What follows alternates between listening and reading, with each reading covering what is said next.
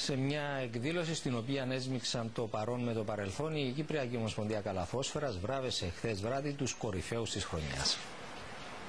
Το παρελθόν και το παρόν της Κυπριακής Καλαθόσφαιρας έσμιξαν στη χθεσινή βραδιά των κορυφαίων για τη χρονιά που ολοκληρώθηκε.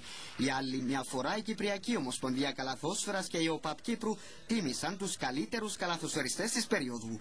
Το έπαθλο του πρωταθλητή παρέλαβε για δεύτερη συνεχόμενη χρονιά η ΕΘΑ, ενώ το τρόπαιο του κυπέλου πήρε ο κεραυνός. Κορυφαίος καλαθοσφαιριστής της χρονιάς αναδείχθηκε ο Ιάκωβος Παντελή της ΑΕΚ, ενώ καλύτερος νέος ψηφίστηκε ο Μάριος Γεωργίου της ΑΕΛ. Ο πρώην πλέον προπονητής της ΕΘΑ, Αντώνης Κωνσταντινίδης, αναδείχθηκε προπονητής της χρονιάς. Στις γυναίκες τα φώτα έκλεψε η Νταπλούχο ΑΕΛ, ενώ το έπαθλο της καλύτερης παίχτριας της χρονιάς παρέλαβε η Μικαέλα Βενζέγκοβα του κεραυνού.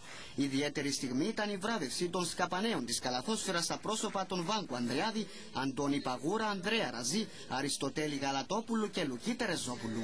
Η εκδήλωση που τελούσε υπό την αιγίδα του Υπουργού Παιδείας και Πολιτισμού Γιώργου Δημοσθένους ήταν αφιερωμένη στην οδική ασφάλεια.